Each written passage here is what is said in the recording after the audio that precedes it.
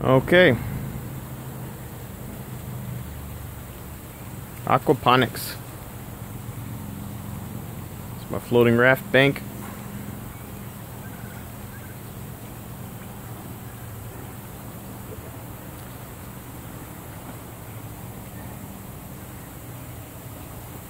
I'm going to cut net pots into all my drains. That way I can use this empty space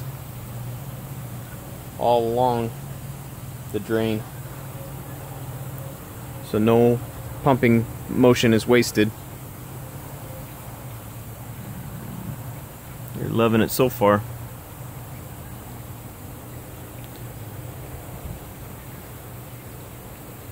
This is on a constant flood. So if you look down here, you always got that amount of water in. So far, the plants love it. But if I need to, I can just put a cap in here or a plug and that'll start it siphoning. You can see it's already kind of burping. That thing will start siphoning. But I decided not to go with an auto siphon because the sump would just have to be too large. I didn't want to deal with it. You see coming down here. Plants can't really tell the difference for now. But if I notice any channeling, I'll start them on siphoning.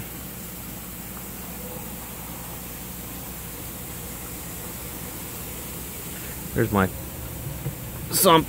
It's just 30 gallons. If you look down close, you can see there's bio balls in there. And when the water level gets below the bio balls, I know it's time to add water. It's about four gallons a day for all this so far. We got Ooh, that one's not doing so good. Got some tilapia. I'm having issues with them dying. Haven't quite figured out why. Have a feeling it's the temperature. Because I'm only able to get the water to about 78 and it drops pretty substantially overnight. The there's bok choy, broccoli, more bok choy. These I'll probably need to string up. That's corn. They'll probably end up falling over.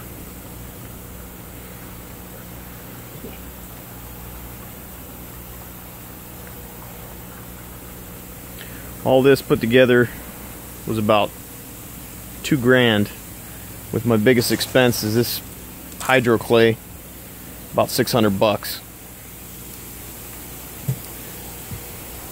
You see, got my swirl filter.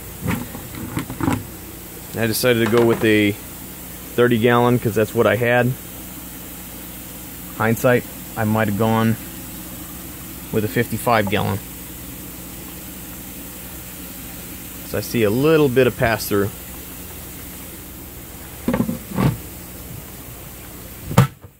Anyway, this is kind of built on the spirit of the Indy 23 from Murray Hallam. The big difference being this is constant flood and that allows me to have a much smaller sump. And these drains I'm double purposing the drains. This is all fed off of 3200 liter per hour uh, pump down in that sump. And it works out to be about $30 a month in energy costs. Pump cost me about 120 bucks I do have an air pump in here with air stones in four of the beds. I was going to have them in the fish tank but I figured man what the hell. And I got two 300 watt heaters. You see in here. 300 watt tank heaters. Each of them is supposed to be good for about 250 gallons of water.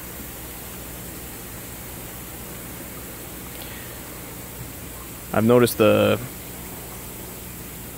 the plants that I bought from Home Depot didn't do so good. But the plants that I planted from a seed, like these are from a seed here. Look at them. It's ridiculous. Got carrots here. We'll see how they do. They're loving life so far. Yeah, see these another from a store, another store. And they just got shocked, but they're starting to come back. You got beans from a seed. Some sort of bush bean. Cucumber from a seed. It's beautiful. All these uh, beefsteak tomatoes, seed. Got cherry tomatoes from seed. And basil, just one of those pre-packaged ones that the wife bought at the store. I just tossed them in. I've been growing off of this, just picking off the seeds whenever it starts to go to flower. That's been growing in here for probably three weeks. The strawberries, I thought they would be the easiest to grow. They turned out to be the hardest. Iron deficiency, which I've added chelated iron bugs are starting to get after them. And they just, I mean, they could turn around. They're actually starting to turn around, but so far they're, they turned out pretty much the worst. This I'm just, any, any plant that I'm pulling out, say I have two, two uh, pretty good plants pulling out of one pot, I'll just pull one and if it can grow, I'll let it grow. Most of them die. Like that one, I can just, I mean, it's dead. But some of them, you see, start coming back. Start coming back. I figure, might as well not waste the seed, especially when the little plant's starting to already grow. And has little chives. Probably should have added I don't I don't know if I figured out the rock wool just yet. Just thinking cilantro not doing so well. Basil not doing so well. Oregano. I thought the oregano died, but it looks like it's coming back pretty good. No real sense in having that much oregano, but spinach dedicated a whole barrel to spinach because you can freeze it unlike the lettuce stays pretty good cooking it whatever. Swiss chard. I've never had it but seems to grow grow in here pretty well. Celery. It took a while but it's starting now. Got a couple of okra.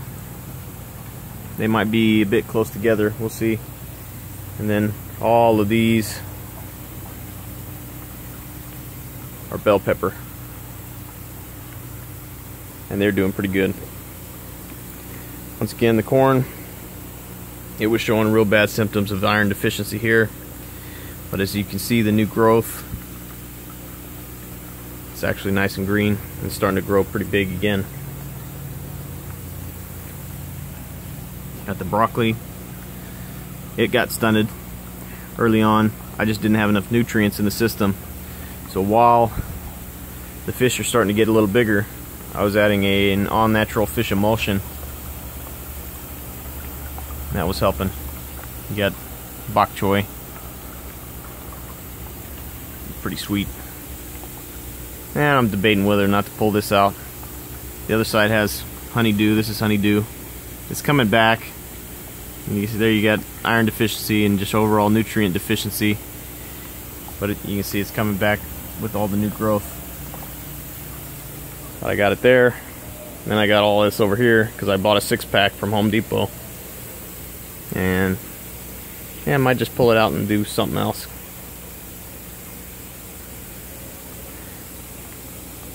Anyway, you can see manifolds out. Comes down this way, diagonally in here. This is diagonally in here. A pretty simple system. And you only have from from here to there, you got maybe a foot, foot and a half. And the flow is not restricted at all. This way you can do that with one pump. I'll do all of these on one pump, which is the only way that you would do it and actually do it financially feasible. See guys throwing pipes all the way up on the roof and, and sure you can make it work, but what's your energy cost?